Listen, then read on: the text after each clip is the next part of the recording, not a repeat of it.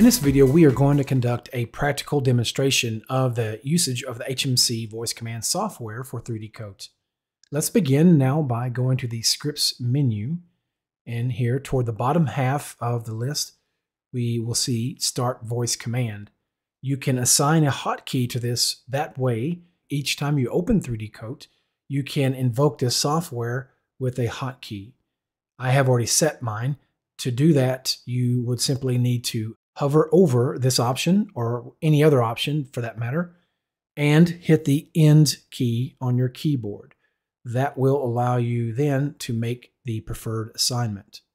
Okay, so again, I will invoke this with a hotkey now, and you will hear an audible voice stating that it's listening and ready to accept voice commands.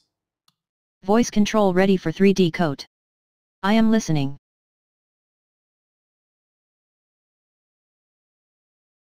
Sleep.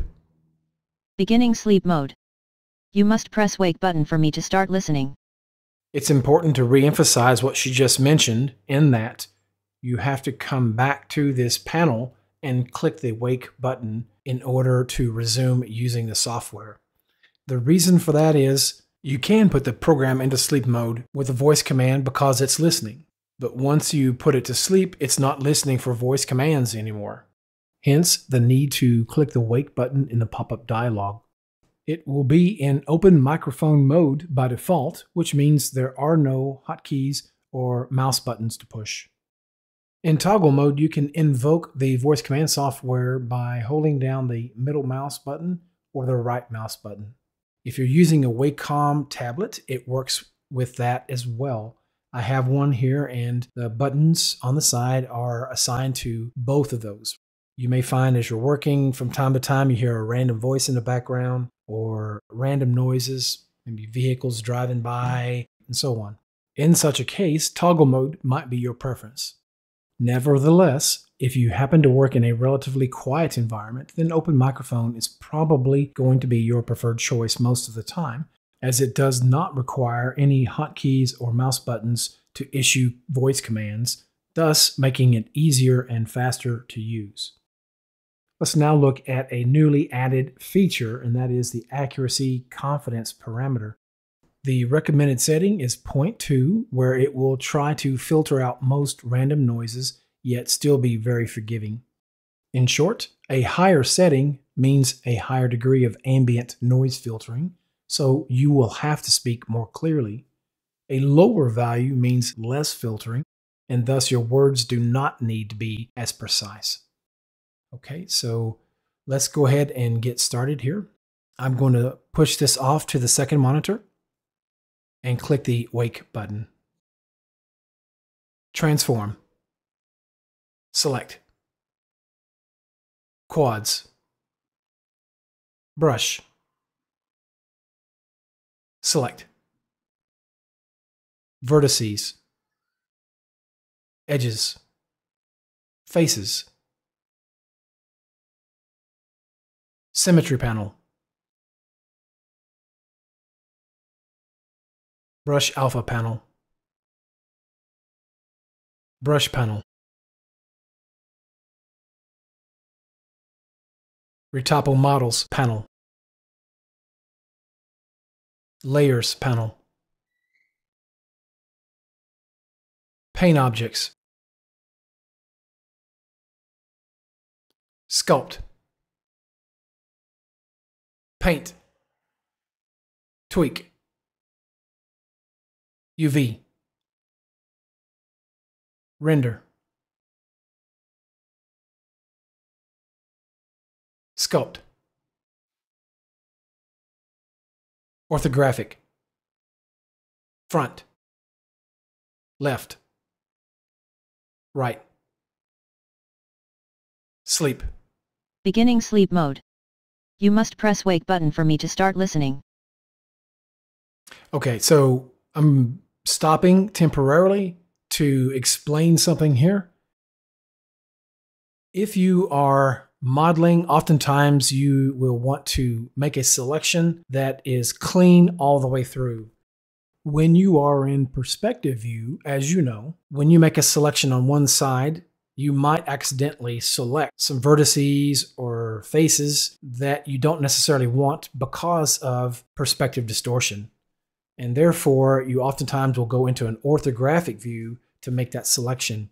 When you're switching views, 3D Coat remembers the last action center you used. If you have been working in perspective view for some time and you're having 3D Coat rotate around your cursor, then you will see that going to an orthographic view, when you switch between views, your object will not necessarily be centered in the viewport because it's using your cursor as a center point. So we need to change that and that's why this voice command software is very handy because I don't have to dig into the camera menu to activate this. I can just tell it, rotate around object bounding box. You could also set a hotkey if you want, but it's even more efficient when using the voice command software because I don't have to divert my attention away from the model and look at the keyboard for a hotkey combination. I can simply just say what I need and stay in a nice rhythm. So I will click the wake button once again. I am listening. Rotate around object bounding box. Front. Back. Top. Bottom. Left. Right. Left. Orthographic.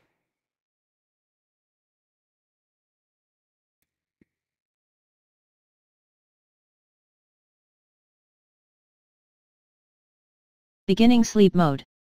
You must press wake button for me to start listening.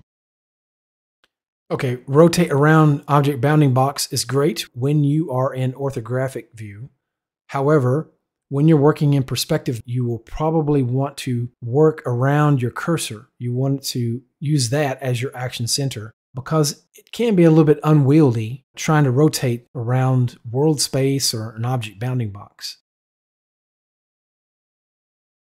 So I will wake the program back up and I will tell it to switch to this cursor based action center.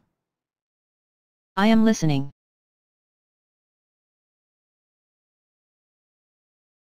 Rotate around current pick point.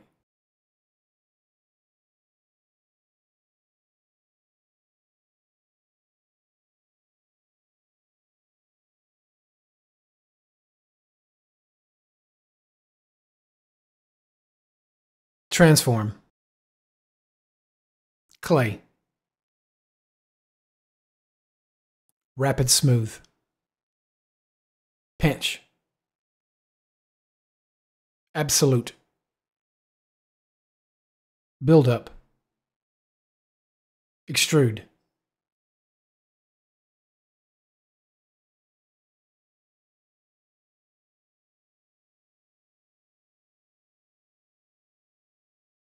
Resample.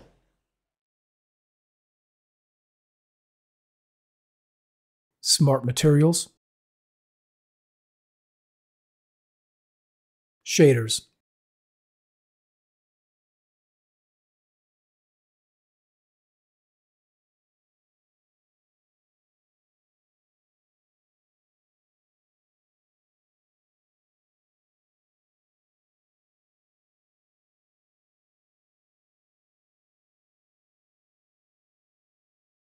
Stroke 1. Stroke 2. Stroke 3. Stroke lasso. Stroke 3. Constant pressure. Stroke 1. Stroke lasso. Rectangle lasso. Stroke 2.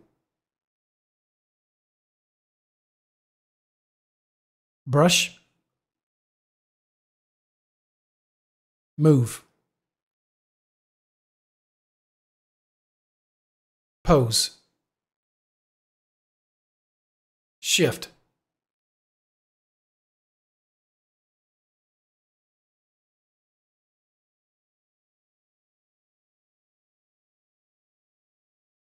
Primitives Import. Tree generator. Logo. Sketch.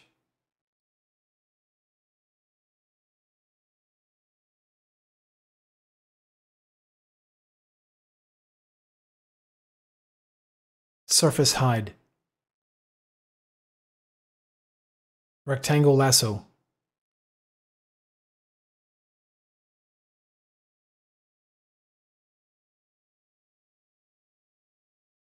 Unhide all.